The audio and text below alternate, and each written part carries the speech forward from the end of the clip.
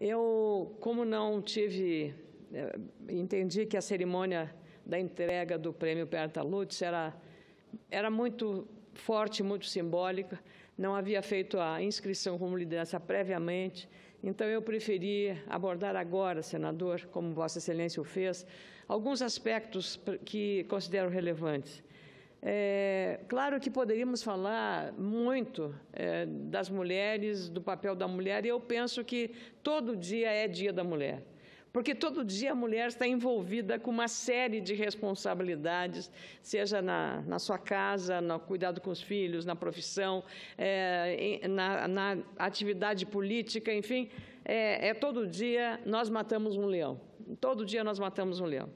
E poderia chegar a história, falar de mulheres que marcaram a história, Maria Quitéria de Jesus na Guerra da Independência, na abolição da escravatura, Princesa Isabel, a Maria Quitéria nas Forças Armadas na época da Independência, Dalva Maria de Carvalho Mendes, e outras tantas mulheres na arte na cultura, Carmen Miranda, Raquel de Queiroz, Chiquinha Gonzaga, Cora Coralina, é, no esporte, Maria Lenk, Maria Esther Bueno, é, mulheres na caridade, mulheres na religião, Irmã Dulce, Zilda Arnes, Madre Paulina, Odetinha e a Princesa Isabel.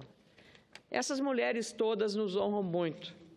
As nossas mães também que nos geraram e nos puseram no mundo. Mas Hoje é dia de falar também de mulheres muito simples, aquelas que não aparecem na televisão, não são fotografia de jornal, que anonimamente, senador Jorge Viana, o senhor deve conhecer muitas lá no seu Acre, aquelas que são zelosas cuidadoras, cuidadoras da casa, cuidadoras da família, cuidadoras de um, de um parente doente, de um irmão, do marido, do filho. Essas mulheres são muito especiais. E eu encontrei no sábado, ao visitar o Hospital São José, em Antônio Prado, uma cidade na Serra Gaúcha conhecida pelo seu patrimônio arquitetônico colonial italiano, uma jovem esposa, ao lado do marido, Luciano Escopel. 33 anos, senador José Medeiros, 33 anos quase da sua idade. E ele, na porta do quarto, quando viu eu passar, se postou com uma voz muito tênue, muito tênue, magrinho, mas com um olhar súplice. Me olhou e disse: Senadora, precisamos muito de ajuda para esta pílula do câncer. Os remédios que eu tomo já não servem mais. 33 anos com câncer no fígado. Eu queria ter tempo de cuidar do meu filho de quatro anos. Não dá para descrever uma cena dessas, especialmente quando nós somos o alvo do apelo de uma pessoa que está com uma doença tão grave quanto essa, mas uma pessoa tão jovem. Então, a Marinéia, a família do Luciano Escopel, toda, são cuidadores dele. E eu, aqui também, como falou há pouco a Conceição, a nossa deputada do Amazonas, a respeito da necessidade de aprovarmos, de logo haver o registro dessa é, tão falada pílula do câncer, a fosfetanolamina sintética, aqui, que o senador Ivo Cassol faz, é, tem se empenhado tanto, e de que essa pode ser para essas pessoas a última esperança de cura.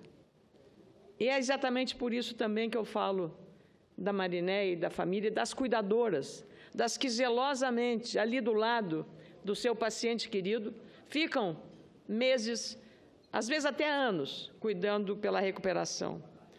Aliás, sempre que temos um parente doente, cabe a uma mulher a maior carga do trabalho.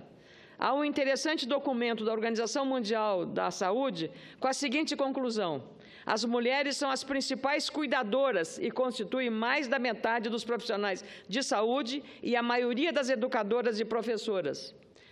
Somos mais expostas, nós mulheres, às doenças de transmissão respiratória, em particular a influenza, a coqueluche, e também transmitimos o vírus influenza e a coqueluche, ou tosse comprida, como é conhecido no nosso interior, aos nossos contatos. Entretanto, como muitas mulheres não fazem parte da força de trabalho ou têm que reduzir sua jornada para cuidar das, da família ou dos familiares doentes, têm menos oportunidade de receber as vacinas nas empresas que trabalham ou adquiri-la na rede privada privada por receberem um salário menor do que os seus colegas homens.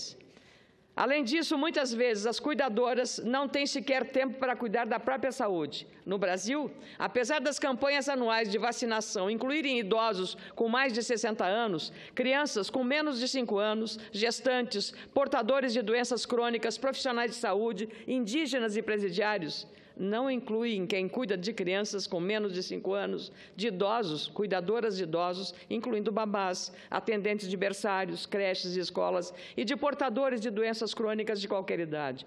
Essas mulheres não têm acesso livre à vacina.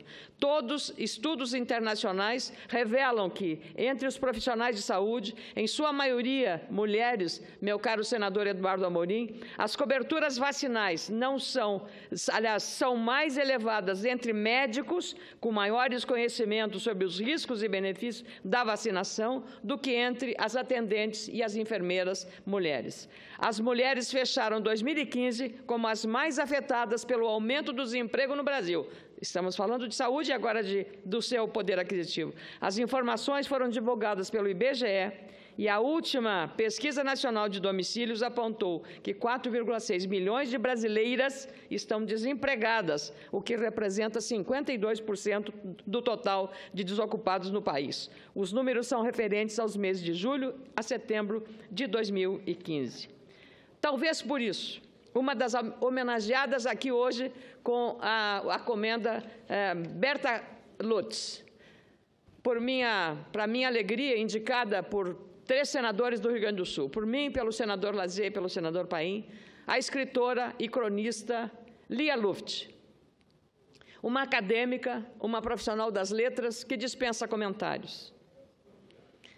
A Lia Luft não veio, foi representada na cerimônia de hoje, e foi a figura mais solicitada. Doze veículos de comunicação solicitaram ao Senado entrevistas e agendamento para Lia Luft, que se estivesse aqui presente.